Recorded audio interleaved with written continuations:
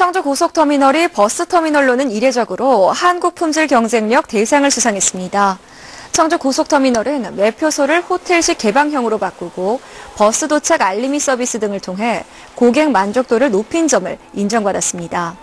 청주 고속터미널은 복합 문화공간 기능도 강화하고 있습니다.